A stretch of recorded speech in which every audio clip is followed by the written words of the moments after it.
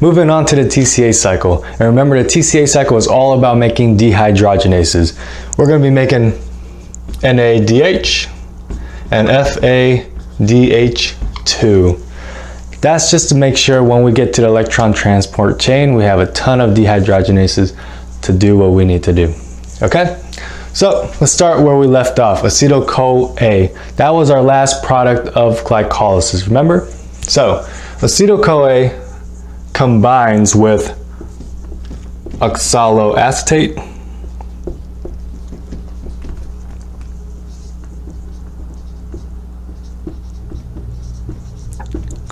to make citrate. And the enzyme that does that is citrate synthase. The name gives it away. Citrate makes iso citrate via isocitrate dehydrogenase. And this is important because this is the rate limiting step. Isocitrate goes to alpha ketoglutarate. I'll just write it as alpha Kg. That gets worked on by alpha Kg dehydrogenase to make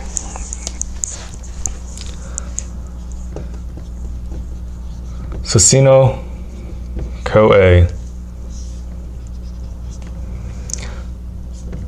Succinyl CoA gets work done by succinate thiokinase to create succinate. That turns into fumarate via succinate dehydrogenase. That turns into malate via malate dehydrogenase. And then finally you get back to oxaloacetate and that is the loop. That sounds like a lot, but there's a trusty mnemonic that I found. I like it a lot. It's called citrate is a starting substrate for making oxaloacetate. So citrate is a starting substrate for making oxaloacetate. That is the big picture. That is just the products and the enzymes. And you know after we get the big picture, we get the nitty gritty facts. So here's the nitty gritty facts. All these dehydrogenase enzymes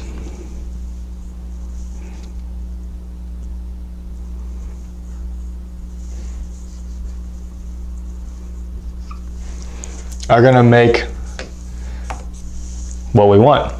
So, malate dehydrogenase, isocitrate dehydrogenase, and alpha ketoglutarate dehydrogenase are going to give us our NADH. Succinate dehydrogenase and succinate thiokinase, anything that ends in succinate, they're a little bit different. They're a little bit more unique. Succinate dehydrogenase is actually part of the ETC cycle. And it makes FADH2. It's the only one that does that. Important. Remember that. Succinate thiokinase makes GTP. Okay? So, know all the enzymes Know which one's a rate limiting step. Know that all the dehydrogenases make what we need to make.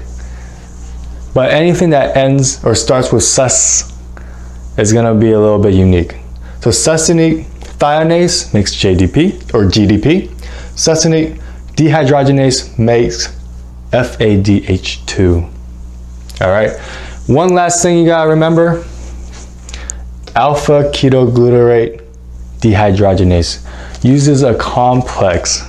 Remember we talked about pyruvate dehydrogenase has that complex and I told you to remember it because we'd be seeing it again. Well, this uses the exact same complex. Do you remember what that complex was made out of? It's gonna be your B vitamins, right? I'll even draw the same drawing that it has no bearing because it doesn't look like that. These are your B1 vitamin, thiamine, pyrophosphate, B2, which is going to be your riboflavin,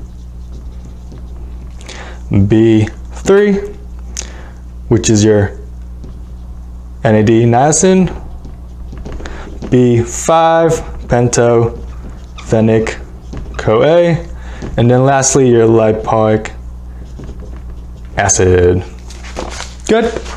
So I've seen a question that just says, which one of these need thiamine? And I was like, wait, what are you talking about? Well, thiamine is part of this giant complex which makes up alpha ketoglutarate dehydrogenase. So alpha ketoglutarate dehydrogenase needs thiamine just by nature of its design. That's the TCA cycle. Hope it wasn't so bad. Remember this mnemonic. Remember what the purpose purpose of it is, and that is to make these for our ETC cycle, which we'll talk about in the next video.